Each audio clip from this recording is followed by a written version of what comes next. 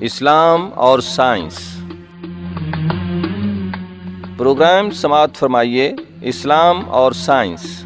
تحریر و آواز، مشتاق سبزواری، پروڈیوسر ندا نعیم، پیشکش Riphah institute of media sciences.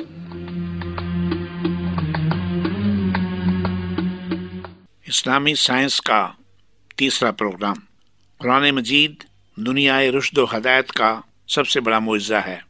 اس کتاب میں ہر شے کا بیان موجود ہے۔ ایک حدیث قدسی میں اللہ تعالیٰ نے فرمایا ہے کہ میں ایک مخفی خزانہ تھا۔ میں نے چاہا کہ جانا پہچانا جاؤں، سو میں نے آدم کو پیدا کیا۔ ہماری زمین نظام شمسی کا واحد سیارہ ہے جہاں زندگی پائی جاتی ہے۔ حیوانی زندگی کے بعد انسانی زندگی کا آغاز ہوا اور آدم علیہ السلام پہلے معمور من اللہ تھے جو زمین پر پیدا ہوئے۔ ان کی پیدائش سے پہلے اللہ تعالیٰ نے فرشتوں کو خبر دی کہ انی جائل فی الارض خلیفہ، کہ میں زمین پر ایک خلیفہ بنانے والا ہوں۔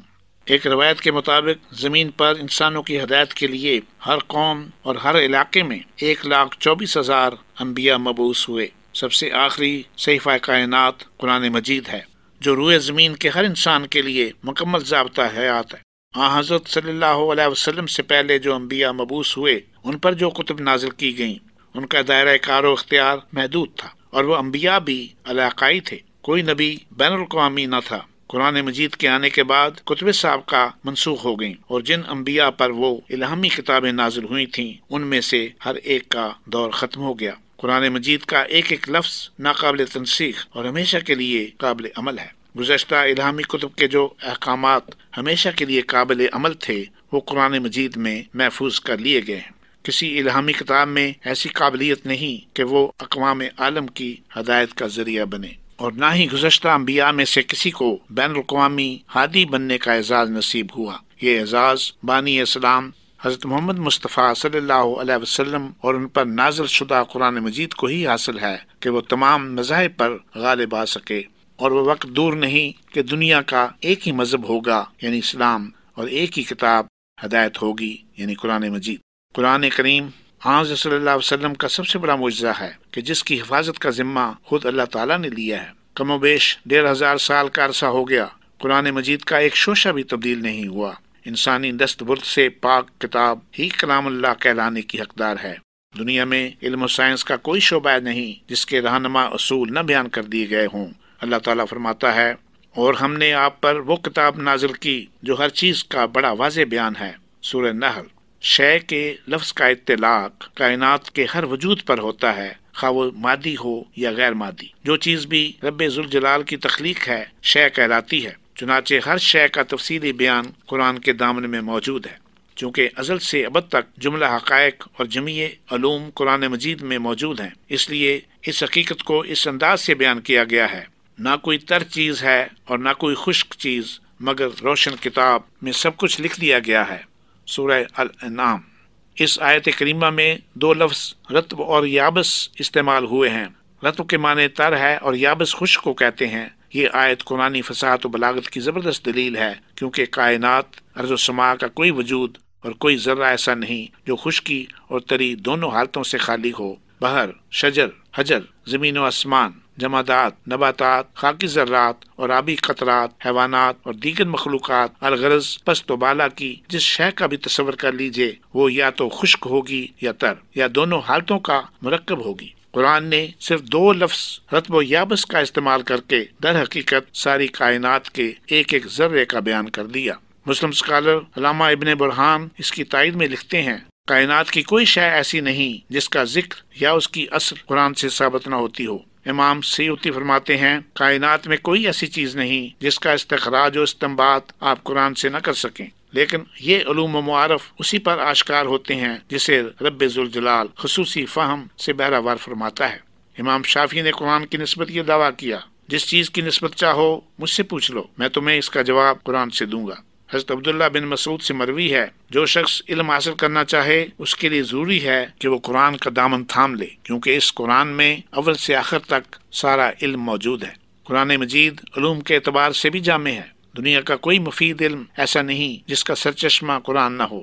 قاضی ابو بکر بن عربی نے اپنی کتاب قانون تعویل میں ابتدائی طور پر علوم کی تعداد ستر ہزار چار سو پچاس بیان کی ہے۔ یہی تعداد قرآن مجید کے کل کلمات کی ہے۔ تو اس سے یہ حقیقت واضح ہو جاتی ہے کہ قرآن کریم میں الحمد سے لے کر وناس تک استعمال ہونے والا ہر کلمہ یقیناً کسی نہ کسی مستقل علم اور فن کی بنیاد ہے۔ گویا قرآنی حرف سے کوئی نہ کوئی علم اور فن جنم لے رہا ہے۔ حضرت عبداللہ بن مسعود سے مروی ہے کہ بانی اسلام نبی اکرم صلی اللہ علیہ وسلم نے فرمایا کہ قرآن کے ہر ایک حرف کا ایک ظاہر ہے اور ایک باطن، اور پھر ظاہر و باطن کے لیے ایک حد آغاز ہے اور ایک حد اختتام۔ چنانچہ قاضی ابو بکر بن عربی مذکور ابالا تعداد کو پھر چار سے ضرب دیتے ہوئے فرماتے ہیں کہ در حقیقت قرآنی علوم کی تعداد کم از کم تین لاکھ نو ہزار آٹھ سو ہے۔ یہ تو ایک بزرگ کی وسط نظر ہے۔ امام راضی فرماتے ہیں کہ صرف تعوض اور تسمیہ اوز باللہ من الشیطان الرجیم اور بسم اللہ الرحمن الرحیم میں لاکھوں مسائل کا بیان ہے۔ باقی آیات و کلمات کا تو ذکر کیا۔ قرآن کی جامعیت کا یہ علم ہے کہ ان کی صحیح تعداد کا شمار ہو سکتا ہے اور نہ اندازہ۔ فلسفہ، فلسفی، فلسفہ تمام علوم کا سر چشمہ اور مبدا تصور کیا جاتا ہے۔ علم طبیعت، فزکس، علم حیاتیات بایولوجی بھی ابتدان فلسفے ہی کا حصہ تھے۔ طبی کائنات کے حقائق پر بحث کرنے والے علوم یہی تین ہیں۔ فلسفہ کائنات کی حقیقت، اعلیٰ نصب العین اور اس کے علم کی تلاش میں سرگرداں ہے طبیعت مظاہر طبی اور ان کی حرکت کو جاننے میں مصروف ہے۔ حیاتیات، ہر حیات کے آغاز اور ان کے ارتقاء کو سمجھنے میں مشغول ہے۔ آج تک کسی ایک علم و فن نے بھی یہ حتمی دعویٰ نہیں کیا کہ اس نے مظاہر حیات کے نقطۂ آغاز کو یقینی طور پر جان لیا ہے۔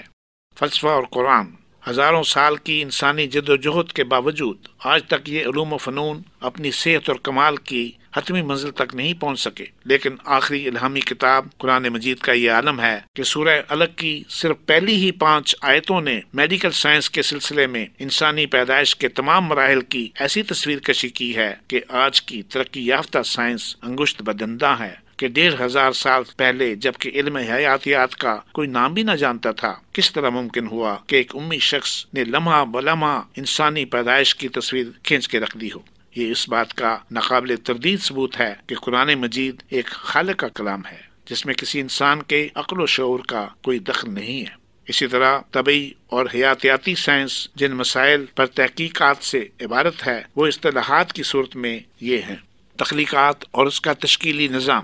Creation of universe and its structural system زمانہ ہائے تخلیق اور ادوار ارتقاء periods of creation and eras of evolution وجود کائنات کا طبی اور کیمیائی اساس physical and chemical basis of the formation of universe زمین اور ظہور حیات earth and appearance of life ارتقاء حیات کے طبی اور کیمیائی مراحل physical and chemical process of evolution of life اجرام فلکی کی ماہیت اور نظام کار nature and phenomena of heavenly bodies انسانی زندگی کا آغاز اور نظام ارتقاء origin of human life and its development نباتات و حیوانات کی زندگی the vegetable and animal kingdom افزائش نسل انسانی کا نظام system of human production and self perpetuation ان تمام سائنسی موضوعات پر قرآن کریم نے بہت سا بنیادی مواد فراہم کیا ہے۔ یہاں نمونہ کے طور پر کچھ مثالیں بیان کرتے ہیں۔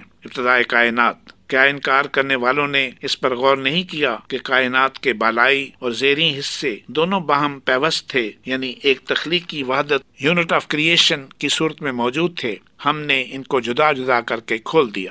ہم نے ہر جاندار چیز کو پانی سے تخلیق کیا اور ہم نے زمین کی تیز رفتاری کے باعث اس میں پیدا ہونے والی جنبش کو ختم کرنے کے لیے اس میں پہاڑوں کے لنگر ڈال دیے تاکہ وہ اپنے اوپر بسنے والی مخلوق کو لے کر کانپے بغیر حرکت کرتی رہے۔